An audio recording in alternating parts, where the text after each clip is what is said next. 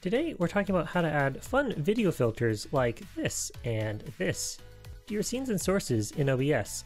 This is super easy to set up, so I'll run you through a quick example. Before you start, you want to make sure that you have the OBS shader filter plugin installed. Uh, it'll be linked in the replies if you need it. To start, right click on your scene or source and go to filters. Click on the plus in the bottom left corner and select user defined shader. For this video, we'll call this the VHS filter. Next, under settings, check the box for load shader text and file, and then click browse. This will take you to a folder where your shader and effect files are saved. These actually come built in with the shader filter plugin.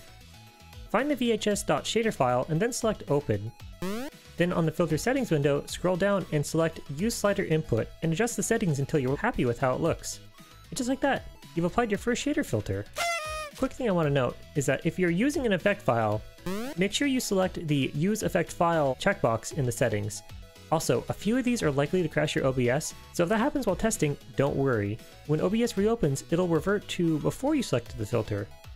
So go ahead and try mixing some of these filters and see what you can come up with.